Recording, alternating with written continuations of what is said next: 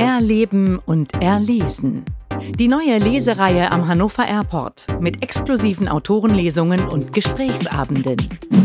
Schauspielerin Andrea Sawatzki mit den turbulenten Komödien Tief durchatmen, die Familie kommt und Von Erholung war nie die Rede. Bestsellerautorin und Kolumnistin Katja Kessler mit ihrem mitreißenden und saukomischen Werk Silicon Wahnsinn, wie ich mal mit Schatzi auswanderte.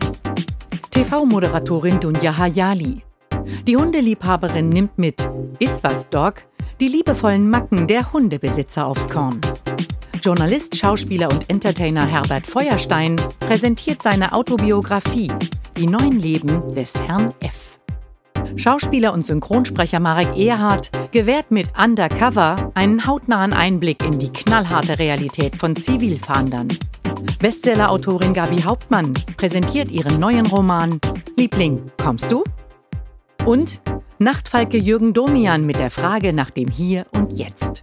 Wie geht erfülltes Leben? Die neue Lesereihe am Hannover Airport.